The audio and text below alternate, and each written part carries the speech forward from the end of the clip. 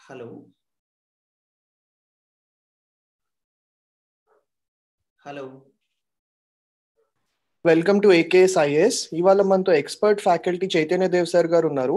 ఇవాళ sir how to answer how to answer group one questions గురించి చెప్పబోతున్నారు. So you can start the class sir good morning అండి. ఈ session యొక్క ప్రధానమైన ఉద్దేశం ఏంటంటే గ్రూప్ వన్కు సంబంధించి క్వశ్చన్స్ ఎలా అడుగుతారు? ఎలా అడిగితే మనం ఎలా ఆన్సర్ రాయాలి? వీటికి సంబంధించిన విషయాలు మనం మాట్లాడుకోవాలి. ప్రధానంగా మనకి జనరల్ ఎస్ఏ మినహాయిస్తే అంటే జనరల్ ఎస్ఏ గురించి మనం ఇంతకుముందు కొన్ని వీడియోస్ చేయడం జరిగింది. ఇప్పుడు మిగతా క్వశ్చన్స్లో మిగతా పేపర్స్లో స్పెసిఫిక్గా ఇంకా చెప్పాలంటే థర్డ్ పేపర్ లాంటి పేపర్లో క్వశ్చనింగ్ నేచర్ ఎలా ఉంటుంది? ఎలాంటి క్వశ్చన్కి మనం ఎలా ఆన్సర్ చేయాలి అనేటువంటి విషయాల్ని మనం తెలుసుకోవాలి. అంటే క్వశ్చన్ చూడండి డిఫరెంట్ డిఫరెంట్ ట్యాగ్ లైన్స్ వాడడం జరుగుతుంది. అంటే ఒక్కొక్కసారి ఏమంటాడంటే ఒక క్వశ్చన్లో ఒక విషయం గురించి ఇచ్చి కమెంట్ అంటాడు వ్యాఖ్యానించండి అంటాడు. అదే ఇన్ఫర్మేషన్ ఇంకొక చోట అదే క్వశ్చన్ ఇచ్చేసి డిస్కస్ అంటాడు చర్చించండి అంటాడు. ఇంకొకసారి ఎనలైజ్ అంటాడు ఇంకొకసారి క్రిటికలీ ఎవాల్యుయేట్ అంటాడు. అంటే విమర్శనాత్మకంగా పరిశీలించండి అంటాడు. ఇలా భిన్నంగా అడగడం జరుగుతుంది. ప్రశ్నలు అడిగే సందర్భంలో భిన్నమైన ప్రశ్నలు అడగడం జరుగుతుంది. ఇక్కడ మరి ఒక యాస్పిరెంట్ కోచింగ్ అటెండ్ అయినప్పుడు కోచింగ్ తీసుకున్నప్పుడు ఒక క్వశ్చన్కి ఒక క్లాస్లో ఆన్సర్ రాయించినప్పుడు ఆ ఆన్సర్లో భాగంగా డిస్కస్ అని ఎనలైజ్ అని లేకపోతే క్రిటికలీ ఎవాల్యుయేట్ అని ఇలా ఏమి ఇచ్చినప్పటికీ కూడా ఒకే ఆన్సర్ రాయాలా? లేకపోతే భిన్నమైన ఆన్సర్లు రాయాలా? ఇన్ఫర్మేషన్ సేమ్ ఇన్ఫర్మేషనా లేకపోతే భిన్నమైనటువంటి ఇన్ఫర్మేషన్లా ఇది ఫస్ట్ ఆస్పిరెంట్ తెలుసుకోవాలండి తెలుసుకున్న తర్వాత అప్పుడు మనం ఆన్సర్ చేయాల్సినటువంటి అవసరం ఉంటుంది. అంటే ఇక్కడ మనం స్పెసిఫిక్గా గమనించినట్లయితే ఒక క్వశ్చన్కి డిఫరెంట్ యాంగిల్స్లో అడిగినప్పుడు లేదా డిఫరెంట్ ట్యాగ్ లైన్స్ ఇచ్చినప్పుడు డిఫరెంట్ ఆన్సర్లు ఉంటాయా? ఒకటే ఆన్సర్ ఉంటుందా? అనేది ఫస్ట్ తెలియాలి. అంటే ఇప్పుడు ఉదాహరణకి ఒక విషయాన్ని గురించి క్వశ్చన్ అడిగినప్పుడు కమెంట్ అని అడిగాడు అనుకుందాం. కమెంట్ అని అడిగినప్పుడు వ్యాఖ్యానించండి అని అర్థం. అలాంటప్పుడు మరి వ్యాఖ్యానం ఎవరు చేయాలి? ఒక గ్రూప్ వన్ రాస్తున్నటువంటి అభ్యర్థి కమెంట్ చేయాలి. మరి గ్రూప్ వన్ రాస్తున్నటువంటి అభ్యర్థిని కమెంట్ చేయమన్నారు కదా అని చెప్పేసి మనం మనకు ఉన్నటువంటి ఏ ఒపీనియన్ అయినా చెప్పొచ్చా? ఈ కమెంట్ అనేటువంటి అంశానికి సంబంధించి అని అంటే మళ్ళీ ఇక్కడ కొన్ని బ్యారియర్స్ కొన్ని పారామీటర్స్ ఖచ్చితంగా ఉంటాయి. ఫస్ట్ ప్రైమరీ రూల్ ఏంటంటే మనం ఒక డిస్క్రిప్టివ్ ఎగ్జామినేషన్లో ఒక ఆన్సర్ రాస్తూ ఉన్నప్పుడు ఒక ఆస్పిరెంట్ తను ఒక కాబోయే బ్యూరోక్రాట్ కాబోయే ప్రభుత్వ ఉద్యోగి అనే విషయాన్ని దృష్టిలో ఉంచుకొని అతని ఆన్సర్ ఉండాలి. కాబోయే ప్రభుత్వ ఉద్యోగి అనే పాయింట్ ఎందుకు మళ్ళీ ఇక్కడ స్పెసిఫిక్గా చెప్పడం జరిగిందంటే బ్యూరోక్రసీకి కొన్ని బేసిక్ రూల్స్ ఉంటాయి. అంటే ఇక్కడ మనకి సార్ మనం ఎగ్జామ్ రాస్తా ఉన్నాం ఇప్పుడు మనం ఇంకా ట్రైనింగ్ అవ్వలేదు కదా ట్రైనింగ్ అయినప్పుడు కదా మనకు అన్ని విషయాలు తెలుస్తాయి. కేవలం ఇక్కడ ఒక ఉద్యోగం పొందాలన్న ఆకాంక్షతో ఉన్నటువంటి అభ్యర్థి మాత్రమే కదా అంటే ఇక్కడ ఎగ్జామినర్ వ్యూ ఎలా ఉంటుంది అంటే ఇప్పుడు ఒక వ్యక్తిని మనం సర్వీస్లోకి తీసుకున్నట్లయితే ఒక ముప్పై సంవత్సరాలు లేకపోతే నలభై దాదాపు నలభై సంవత్సరాలు ఆ వ్యక్తిని ప్రభుత్వం భరించాల్సి ఉంటుంది. అతని వల్ల మేలు జరిగితే అది ఊహించలేనంత మేలు జరుగుతుంది సమాజానికి. అలాగే ఒక తప్పుడు అభ్యర్థిని కనుక సర్వీస్ కమిషన్ ఎంపిక చేసినట్లయితే సమాజంలో తీవ్రమైనటువంటి నష్టాలు సంభవిస్తాయి కాబట్టి బేసికల్గా ఈ వ్యక్తికి ఆటిట్యూడ్ ఉందా? ఉద్యోగి కావడానికి కావలసినటువంటి ప్రాథమిక స్వభావం ఉందా? ఇక్కడ లేదా తెలుసుకుంటారు ఇక్కడ గుర్తుంచుకోండి సివిల్ సర్వీసెస్ కానివ్వండి లేదా స్టేట్ సర్వీస్ ఉద్యోగాలు కానివ్వండి కొంతమంది పొందలేని వ్యక్తులు లేకపోతే ఎగ్జామ్స్ రాసి ఆ ఉద్యోగంలో జాయిన్ అవ్వలేకపోయిన వాళ్ళు ఇలాంటి వీళ్ళందరూ కూడా ఆ ఉద్యోగం చేయడానికి అర్హత లేని వాళ్ళని కాదండి. కొంతమంది ఏమో వాళ్ళ ఆటిట్యూడ్ వల్ల వాళ్ళు దాంట్లోకి రాగలేకపోతారు. కొంతమంది ఆ ఉద్యోగం వాళ్ళ మనస్తత్వానికి లేకపోతే వాళ్ళ యొక్క వ్యక్తిత్వానికి లేకపోతే వాళ్ళ యొక్క ఆటిట్యూడ్కి సరిపడదు. అలాంటి వ్యక్తుల్ని ఇక్కడే ఎలిమినేట్ చేసేందుకు అవకాశం ఉంటుంది. ఇప్పుడు ఫర్ ఎగ్జాంపుల్ ఒక విషయాన్ని గురించి ఏదైనా ఒక ప్రశ్న అడిగినప్పుడు ఆ ప్రశ్నలో కమెంట్ అని అడిగినప్పుడు అభ్యర్థి ల్యాండ్ ఆఫ్ ద లా రాజ్యాంగాన్ని రేషనాలిటీ హేతుబద్ధతని ప్రా ప్రాక్టికాలిటీ వాస్తవికతని ఇవన్నిటినీ దృష్టిలో ఉంచుకొని ఒక మెచ్యూర్డ్ హ్యూమన్గా ఆన్సర్ కామెంట్ చేయాలి తప్ప రాడికల్ కామెంట్స్ చేయకూడదు. రాడికల్ కామెంట్స్ కానివ్వండి ప్రాక్టికాలిటీకి దూరంగా ఉన్న కామెంట్స్ కానివ్వండి లేదా సమాజ వినాశనానికి దారి తీసేటువంటి దృక్పథం కానివ్వండి. ఇప్పుడు అది పనికిరాదు. అంటే ఇక్కడ విషయం ఏంటంటే ఇప్పుడు గమనించండి. మనం ఒక డెమోక్రటిక్ సొసైటీలో ఉన్నాం కాబట్టి డెమోక్రటిక్ ఫ్రేమ్వర్క్ అనుగుణంగానే అభ్యర్థి కమెంట్ ఉండాలి. డిస్కస్ అన్నాడు అనుకుందాం అదే విషయాన్ని. ఇప్పుడు ఫర్ ఎగ్జాంపుల్ ఒక విషయాన్ని కమెంట్ అన్నప్పుడు ఈ అంశాలన్నీ దృష్టిలో ఉంచుకొని తన కోణంలో ఒక విషయాన్ని చెబుతూ రావాలి. అలా కాకుండా ఒకవేళ కనుక డిస్కస్ చర్చించండి అన్నాడు అనుకున్నాం డిస్కస్ అన్నప్పుడు కమెంట్ అన్నట్టుగా రాస్తున్నట్టుగా ఆన్సర్ రాయకుండా పాజిటివ్లు నెగిటివ్లు రెండూ చెబుతూ బ్యాలెన్స్గా ఇది ఇలా అవుతే ఇలా అవుతుంది అని పాజిటివ్ చెప్పాలి నెగిటివ్ చెప్పాలి. పాజిటివ్ చెప్పాలి నెగిటివ్ చెప్పాలి. ఫర్ ఎగ్జాంపుల్ ఇప్పుడు కరోనా ఇష్యూనే తీసుకోండి. దీంట్లో పాజిటివ్స్ నెగిటివ్స్ రెండూ ఉండొచ్చు. సరే నెగిటివ్ ఎక్కువ పాజిటివ్ తక్కువ ఉండొచ్చు. కాకపోతే ఇక్కడ ఏంటంటే ఇక్కడ ప్రతి అంశాన్ని మనం చూసే దృక్పథం కూడా ఉంటుంది. మనం ఏ ఆస్పెక్ట్లో చూస్తున్నాం అనేటువంటి దృక్పథం కూడా ఉంటుంది కాబట్టి పాజిటివ్ నెగిటివ్ రెండూ చెప్పేసి ఈ పాజిటివ్లు నెగిటివ్లు అంతా అయిపోయిన తర్వాత మళ్ళీ ఇక్కడ రేషనల్ కన్క్లూజన్ ఇవ్వాల్సి వస్తుంది. కమెంట్ అన్నప్పుడేమో ఒక అంటే ఒక విషయాన్ని గమనిస్తున్న వ్యక్తిగా మన కమెంట్ చెప్తాము. డిస్కస్ అన్నప్పుడు పాజిటివ్ నెగిటివ్ పాజిటివ్ నెగిటివ్ చెప్తూ ఒక రేషనల్ కన్క్లూజన్ ఇవ్వడానికి అవకాశం ఉంటుంది. ఎందుకంటే గమనించండి ప్రభుత్వం కానీ ప్రభుత్వ ఉద్యోగి కానీ ఈరోజు ఎవరికైతే సేవలు అందించబోతున్నారో అంటే ఇప్పుడు మీరు ఒక ఆర్డీఓనో లేకపోతే ఒక డిస్ట్రిక్ట్ రిజిస్ట్రార్ అయినప్పుడు మీ దగ్గరికి వచ్చే ఆశ్రితులు ఎవరైతే ఉంటారో క్లయింట్ ఎవరైతే ఒక సాధారణ పౌరుడు ఉంటాడో అతనికి సంబంధించిన ప్రతి సమస్యను ఒక ఉద్యోగిగా పరిష్కరించలేరు.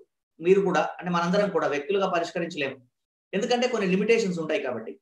అంటే గవర్నమెంట్ కూడా మీరు ప్రధానమంత్రి అయినా కూడా అన్ని సమస్యల్ని ఓవర్ నైట్లో పరిష్కరించలేరు. కాకపోతే ఏంటి అంటే మన కెపాసిటీ పాసిబిలిటీ ఏంటి అనేది చెబుతూ ఒక రేషనల్ కన్క్లూజన్ ఇవ్వాల్సి వస్తుంది.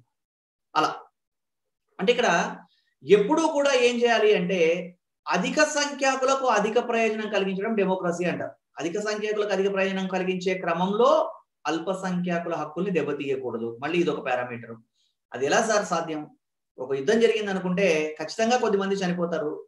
మరి ఎక్కువ మంది ప్రజలకు న్యాయం జరుగుతుంది అంటే ఆ చనిపోయే వాళ్ళకు కూడా ఏదో ఒక రకమైన ప్రయోజనం కలిగించాలి. చనిపోవడం అనేటువంటి దాన్ని వీలైనంత వరకు తగ్గించే ప్రయత్నం ఏదైనా చేయాలి. అలా పాజిటివ్ నెగిటివ్ పాజిటివ్ నెగిటివ్ చెబుతూ ఆ విషయాన్ని డిస్కస్ అన్నప్పుడు అలా అలాగే క్రిటికలీ ఎనాలసిస్ అన్నప్పుడు విమర్శనాత్మక పరిశీలన.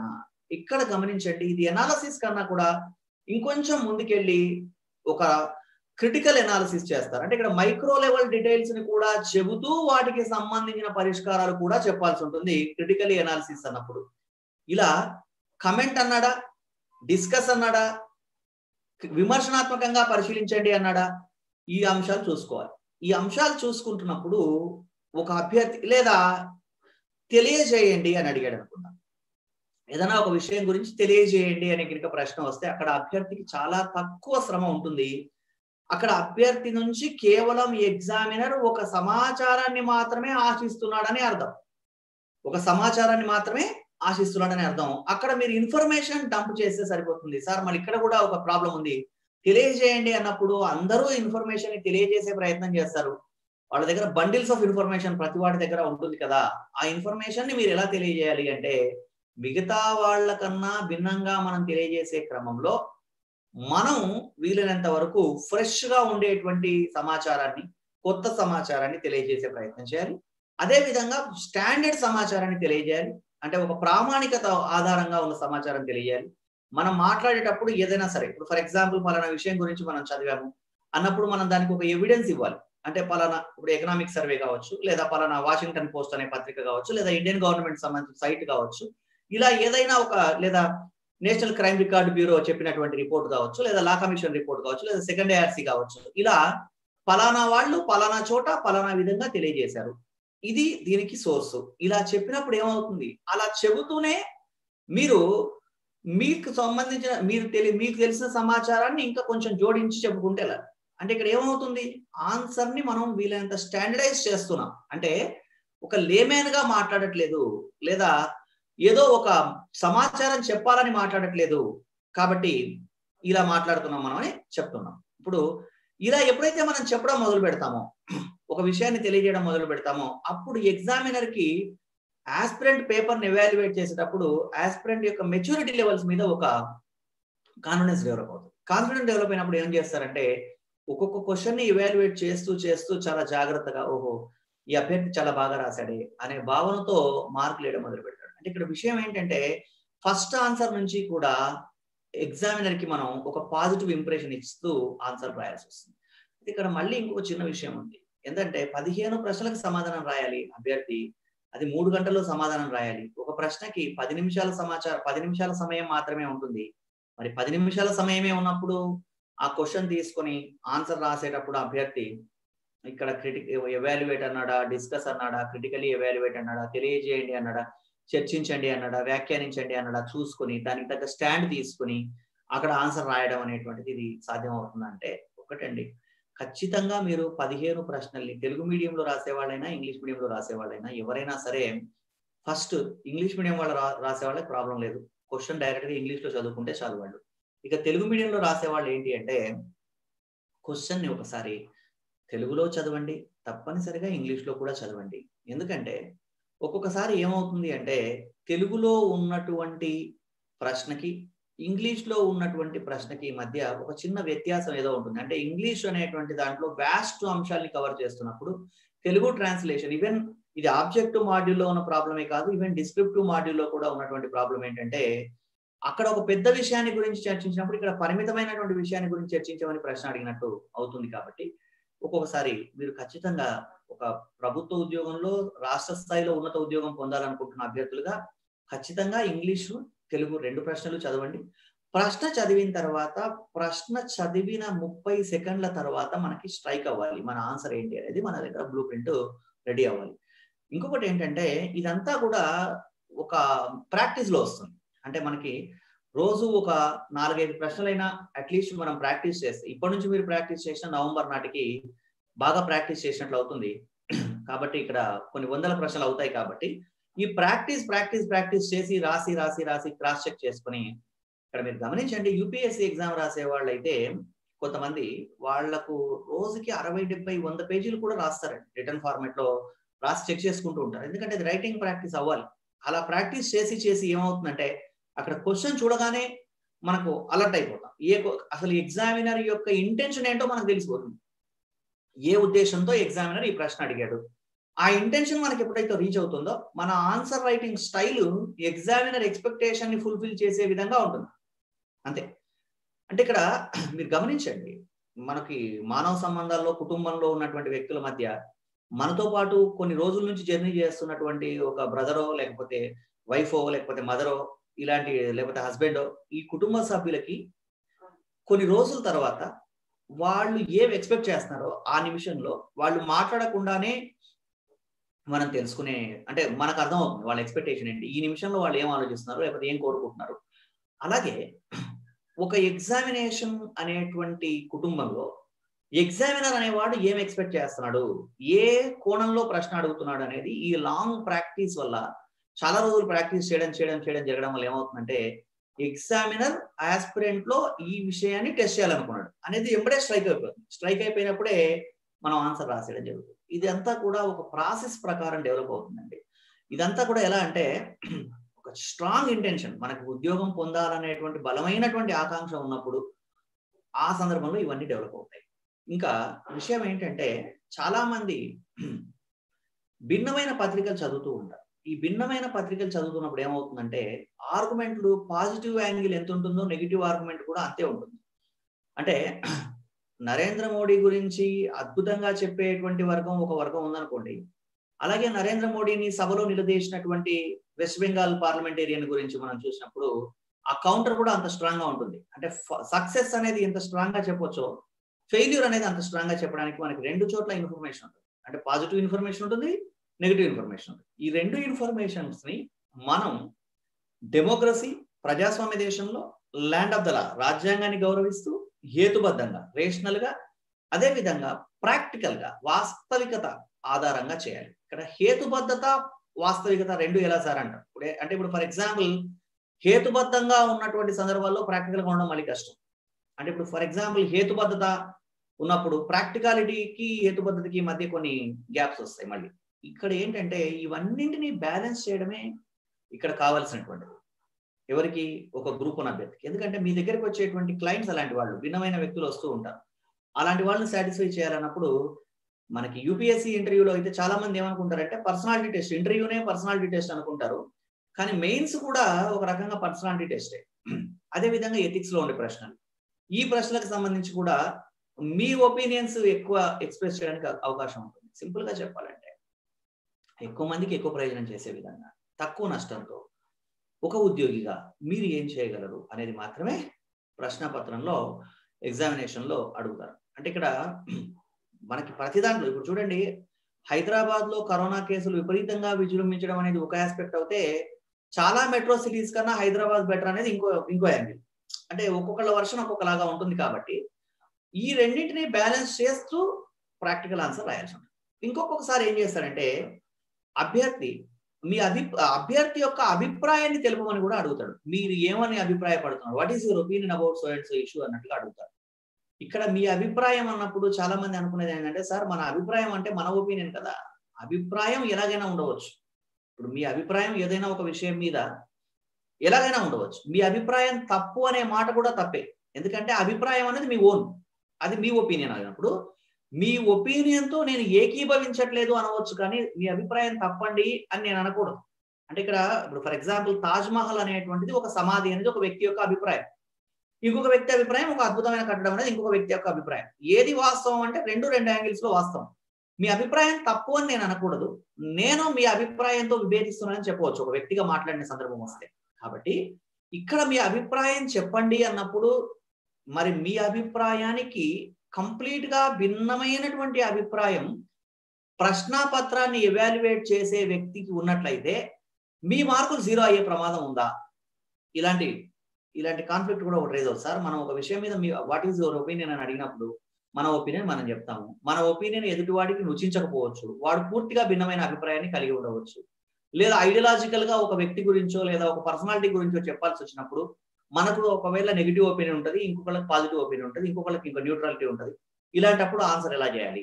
సింపుల్ అండి మళ్ళీ సేమ్ ఒక బ్లూ ప్రింట్ పెట్టుకోండి. మీ అభిప్రాయం అంటే అర్థం ఏంటి? మీరు ఎవరో ఎక్స్వైజెడ్ అనే వ్యక్తి యొక్క అభిప్రాయం కాదు అక్కడ. ఒక ఆర్డీఓ అభిప్రాయం ఒక డిస్ట్రిక్ట్ రిజిస్టర్ అభిప్రాయం ఒక ఎంపీడీఓ అభిప్రాయం ఒక ప్రభుత్వ ఉద్యోగి అభిప్రాయం అంటే బ్యూరోక్రసీలో ఉన్నటువంటి న్యూట్రాలిటీని మనం గమనించాలి. అదేవిధంగా ఒక వ్యక్తిగా మనం స్పందనాత్మకంగా ఉండాలి. ఈ వ్యక్తిగా స్పందనాత్మకంగా ఉండేటువంటి ప్రక్రియ రూల్స్ను బ్రేక్ చేస్తూ ఉండకూడదు.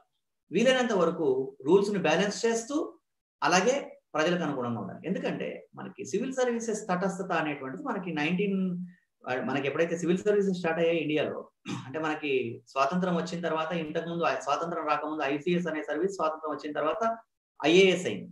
ఈ పరిణామ క్రమంలో సివిల్ సర్వీసెస్ న్యూట్రాలిటీ అనేది ఉన్నప్పుడు ఇది కొన చాలా కాలం కొనసాగిన తర్వాత రాజీవ్ గాంధీ ప్రధానమంత్రి అయిన తర్వాత ఆయన ఏం చెప్పాడంటే సివిల్ సర్వెంట్ అనేవాడు న్యూట్రల్గా ఉండకూడదండి. మీరు క్లయింట్కి పక్షపాతిగా ఉండండి. అంటే మీ దగ్గరికి వచ్చేటువంటి అశ్రితుడికి మీరు పక్షపాతిగా ఉండండి. అంటే అతనికి బెనిఫిట్ చేసేవాడిగా ఉండండి. అలాగే మీరు పర్సనల్ బెనిఫిట్ కోసం ఏది చేయొద్దండి. ఇప్పుడు ఫర్ ఎగ్జాంపుల్ మీరు ఒక అధికారి అనుకోండి ఒక మీరు ఒక కుల ధృవీకరణ పత్రం ఇవ్వాలి. లేకపోతే మీరు అంటే ఒక క్యాస్ట్ సర్టిఫికేట్ ఇవ్వాలి లేదా ఒక ఇన్కమ్ సర్టిఫికేట్ ఇవ్వాలి. ఎప్పుడో రాత్రి మీరు ఆఫీస్ అయిపోయి వెళ్ళిపోతున్నప్పుడు ఏదైనా కారణం చేత మీరు ఏడు గంటల వరకు వెయిట్ చేస్తున్నప్పుడు ఒక ఒక ఒక అసిస్టెంట్ ఒక క్లయింట్ వచ్చి నాకు ఇవ్వండి సార్ అని అడిగితే వాడికి ఎల్లుండో రెండు మూడు రోజుల తర్వాత కౌన్సిలింగ్ ఉంది అని అన్నప్పుడు ఇమీడియట్గా మీరు ప్రాసెస్ చేయడానికి ముందు చాలా వేరే వాళ్ళు కూడా ఉన్నప్పుడు అలాంటప్పుడు ఈ వ్యక్తికి ఇవ్వడం అనేటువంటిది అవసరం లేదు వాడికి డిసిప్లిన్ లేదు ముందే చూసుకోవాలి కదా అనేది ఒక ఆస్పెక్ట్ మిగతా వాళ్ళ పనులు కూడా చేస్తూ కొంత యాడెడ్ వాల్యూని యాడ్ చేస్తూ ఇంకో గంట మీరు ఎక్కువ పని చేస్తూ లేదా ఒక ఒక లంచ్ అవర్లో పది నిమిషాలు సాక్రిఫైస్ చేసి ఆ విషయాన్ని సూపర్వైజ్ చేసి అతనికి ఒక సంతకం పెట్టడం ద్వారా అది కూడా ఎలా మళ్ళీ? నిజంగా అతను అర్హుడేనా అని పరిశీలించి మీరు ఒక సమయాన్ని మీ ప్రైవేట్ టైంని కూడా ఎందుకంటే ఇక్కడ గవర్నమెంట్ ఉద్యోగి అంటే twenty four by seven service అని లెక్క. అతనికి మీరు ఇచ్చినట్లయితే అక్కడ వాల్యూ యాడ్ చేసిన వాళ్ళు అవుతారు రూల్ని మీరు బ్రేక్ చేయని వాళ్ళు అవుతారు. మీరు ఒకవేళ గినక రూల్ కట్టుబడి అతని సర్టిఫికేట్ ఇవ్వకపోయినా మీ మీద ఎవరు చర్య తీసుకోరు. ఎందుకంటే మీరు రూల్ ప్రకారం వెళ్తున్నారు. ఇక్కడ రూల్ అనేది కేవలం రూల్ కోసం కాదు. రూ నియమం అనేది కేవలం పాటించడం నియమం పాటించడం కోసం కాదు. నియమం అనేది దేనికి పర్పస్ ఏంటి అంటే సిస్టమ్ని వీలైనంత వరకు రెగ్యులేట్ చేయడం కోసమే నియమం. కాబట్టి ఇలా అభ్యర్థి తన అభిప్రాయాలను వ్యక్తం చేయాలి. అంటే మీ అభిప్రాయం చెప్పండి అన్నప్పుడు మీరు ఒక ఉద్యోగి మీరు ప్రజలకి లాభం చేకూర్చే సింపుల్ ఎగ్జాంపుల్ అండి. ఈరోజు భారతదేశంలో వేల మంది ఐఏఎస్ ఆఫీసర్లు ఉన్నారు. అలాగే దేశవ్యాప్తంగా వేల మంది గ్రూప్ వన్ ఆఫీసర్లు ఉన్నారు. మనం కొద్ది మంది పేర్లే వింటాం కదా. ఇప్పుడు మీరు టకటక టక ఒక పది మంది ఐఏఎస్ ఆఫీసర్ల పేర్లు చెప్పండి అంటే రెండో మూడో పేర్లు చెప్పాక వెతుక్కునే పరిస్థితి ఏర్పడుతుంది. ఎందుకు ఆ రెండు మూడు పేర్లు గత అనేక సంవత్సరాల నుంచి మన నోట్లో నాంతా ఉన్నాయి? ఎందుకు ఆ రెండు మూడు పేర్లు మళ్ళీ మళ్ళీ మళ్ళీ మళ్ళీ ఏ వేదిక మీదైనా వినిపిస్తా ఉన్నాయంటే అది వాళ్ళు మళ్ళీ ఆ రెండు మూడు పేర్లు ఉన్న వాళ్ళు అన్ని సందర్భాల్లోనూ టాప్ ర్యాంకర్ అవ్వాల్సిన అవసరం లేదు మళ్ళీ. కదా? కాబట్టి గమనించండి వాళ్ళకి రెస్పాన్సివ్నెస్ ఉంది. వాళ్ళు బ్యూరోక్రాట్ అయినప్పటికీ కూడా మనకి ప్రజలతో ప్రజల యొక్క అవసరాలకి ఇప్పుడు శంకరన్ అనే ఐఏఎస్ ఆఫీసర్ పేరు దేశం అంతా చెప్పుకుంటారు. ఎందుకు అలా చెప్పుకుంటారంటే ఆయన స్పందనాత్మకంగా ఉన్నాడు. నిజంగా చాలా కమిటెడ్గా ఉన్నాడు ఇక్కడ అంటే అక్కడ ఇండివిజువల్గా వాళ్ళు వాళ్ళకు ఉన్నటువంటి పవర్ ద్వారా వాళ్ళకున్న ఇండివిజువల్ పవర్ ద్వారా. అంటే పవర్ అనేది రెండు రకాలు. పొజిషనల్గా వచ్చే పవర్ ఇండివిజువల్గా ఉండే పవర్ ఇండివిజువల్గా ఉన్నటువంటి పవర్ పొజిషనల్ పవర్ పవర్ అంటే ఇక్కడ మంచి పొజిషన్లో ఒక ఇండివిజువల్ కేపబిలిటీ ఉన్నటువంటి వ్యక్తి ఆ పొజిషన్లో ఉన్నట్లయితే అతను చేసే సర్వీస్ అమోఘంగా ఉంటుంది. ప్రజలకు చాలా లాభం చేకూరుస్తుంది. ఈరోజు ప్రకాశం జిల్లాలో లక్ష ఎకరాలకి సాగునీరు అందింది. అదొక పెద్ద అద్భుతం అని చెప్పేసి ఈ రోజుకు చెప్పుకుంటున్నారని జయప్రకాష్ నారాయణ గారు చెప్తారు. మరి ఏ కలెక్టర్ చేయలేని అతను ఎందుకు చేయగలిగాడంటే అతను అతని కోణం అది. అతని దృక్పథం అతని యొక్క స్పందనాత్మకత ఆ రోజు అతనికి ఉన్నటువంటి ఆలోచన విధానం ఇవన్నీ కూడా మీ అభిప్రాయమే. ఇవన్నీ కూడా మీకు బయటపడతాయి. మీకు తెలియకుండానే మనందరికీ కూడా మనం తెలియకుండా గుర్తుపెట్టుకోండి పర్సనాలిటీ అనే వర్డ్ పర్సోనా అనేటువంటి పదం నుంచి వచ్చింది ముసుగు అనే అర్థం. మనం ఎంత తెలివైన మనం నిజంగా తెలివైన వాళ్ళం అయితే మన తెలివితేటల్ని మనం దాచుకోలేమండి. అలాగే మనం తెలివిలేని వాళ్ళమైనా సరే మనం మన తెలివిలేనితనాన్ని దాచుకోలేము ఖచ్చితంగా అది బయటపడిపోతుంది. కాబట్టి ముసుగేసుకోవాల్సినటువంటి ప్రయత్నం చేయకండి. ఎవరైనా కూడా చేయకూడదు మనం. వ్యక్తిగత మనం ఎలాగో ఏంటో అలాగే ఉండడం మంచిది.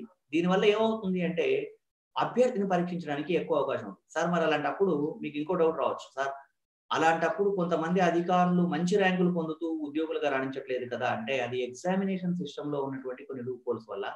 ఇంకోటి విపరీతంగా ఏళ్ళ తరబడి చదివి చదివి చదివి ఇన్ఫర్మేషన్ వాళ్ళ దగ్గర ఉండడం వల్ల వాళ్ళు ఏ క్వశ్చన్కైనా సరే ఇన్ఫర్మేషన్ డంప్ చేస్తే ఓ sixty percent fifty five percent మార్కులు పడడం కావచ్చు.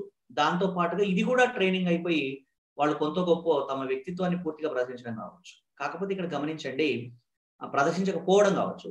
ఇక్కడ గమనించండి మీరు ఒక పరిణితి చెందిన మానవుడని ఈ పరిణితి చెందినటువంటి వ్యక్తి నుంచి ప్రజలకు సేవ అందడం కోసం ఎగ్జామినర్ ప్రశ్నల్ని గుప్పిస్తున్నాడని ఆ ప్రశ్నలకు మనం సమాధానం రాసే క్రమంలో మనం మన మెచ్యూరిటీని రాజ్యాంగాన్ని చట్టాన్ని ఉద్యోగ అంటే మన మళ్ళీ బ్యూరోక్రటిక్ రూల్స్ని ఇవన్నిటిని ఫాలో చేస్తూ ఒక బ్యాలెన్స్డ్ ఆన్సర్ రాయాల్సి ఉంటుంది. వ్యాఖ్యానించండి అన్నప్పుడు మీ ఒపీనియన్ చెప్పండి. చర్చించండి అన్నప్పుడు పాజిటివ్లు నెగిటివ్లు చెప్పండి. క్రిటికలీ అనాలిసిస్ అన్నప్పుడు విమర్శనాత్మకంగా సూక్ష్మమైన విషయాలు చెప్పండి. అభిప్రాయాన్ని తెలియజేయండి అన్నప్పుడు సమాచారం చెప్పండి. ఇది మన ప్రశ్నపత్రంలో స్పష్టంగా మనం తెలియజేయాల్సినటువంటిది. అన్ని క్వశ్చన్లకు ఎట్టి పరిస్థితుల్లో ఆన్సర్ రాయండి. మీకు తెలిసినా తెలియకపోయినా. ఎందుకంటే ఒక గ్రూప్ వన్ రాస్తున్నటువంటి అభ్యర్థికి ప్రాథమికంగా ప్రతి సమాచారం మీద ఎంతో కొంత అవగాహన ఉంటుంది. తెలియకపోవడం అంటూ ఏమీ ఉండదు. కాకపోతే ఒక ఒక మనకున్న మెచ్యూరిటీ లెవెల్ని బట్టి ఏమనుకుంటారంటే కొద్దిమంది పాపం ఇది మనకు పత్రిక తెలియదు కదా సార్ మనం ఏదో ఆన్సర్ రాసేస్తాం. మనకే సిగ్గు అనిపిస్తుంది కదా చదువుకున్న తర్వాత. అది మనం కరెక్ట్గా జస్టిఫికేషన్ చేయలేమేమో అని. So to the best of your knowledge అక్కడ మళ్ళీ జిమ్మిక్కులు చేయకుండా మీకు తెలిసిన సమాచారం అంటే ఇక్కడ మళ్ళీ ఈ సమస్య ఇది ఎంత పెద్ద సమస్య అంటే చాలా తీవ్రమైన సమస్య ఈ సమస్య పరిష్కారం లేదని అసలు ఏమీ తెలియకుండా రాస్తే మార్కులు రావు. వచ్చిన మార్కుల మీద కూడా నెగిటివ్ ఇంప్రెషన్ పడుతుంది. అలా కాకుండా తెలిసిందేదో మనం నాకు ఇంత తెలుసండి. నాకు నాకు ఈ విషయం మీద ఇంత అవగాహన ఉంది. నాకు తెలిసింది ఇది అన్న కోణంలో కనుక సమాచారాన్ని డంప్ చేయగలిగితే మీ నిజాయితీ కూడా అక్కడ బయటపడుతుంది. మాక్సిమం అలాంటి పరిస్థితి రాకుండా అంత సమ ఏ ప్రశ్న వచ్చినా రాసేలాగా మనం ప్రిపరేషన్ అనేది జీవన విధానంలో భాగం అయిపోయి రోజు పత్రికలు చదువుతూ సిలబస్ అంతా కవర్ చేసిన వాళ్ళు అన్నింటికీ సమాధానం ఇది కేవలం ఒక చిన్న సలహా మాత్రమే. ఎందుకంటే లాస్ట్ టైం ఒక వీడియో చేసిన తర్వాత మనకి ఆర్ట్ ఆఫ్ ఎస్ఏ రైటింగ్ అనేటువంటి దాని గురించి మాట్లాడినప్పుడు నాకు స్పెసిఫిక్గా కొద్దిమంది మెసేజ్ పెట్టాం ఒకరిద్దరు ఫోన్ కూడా చేయడం సార్ డిస్కస్ ఎనాలిసిస్ ఇలాంటి ప్రశ్నలు వస్తున్నాయి కదా ఆ డిఫరెన్స్ చెప్పండి అని చెప్పడం జరిగింది. అందుకనే ఈ విషయం మళ్ళీ తెలియజేయడం జరిగిందండి. ఈ విషయానికి సంబంధించి ఇంకా ఏమైనా మీరు అనుమానాలు ఉన్నట్లయితే అడగవచ్చు.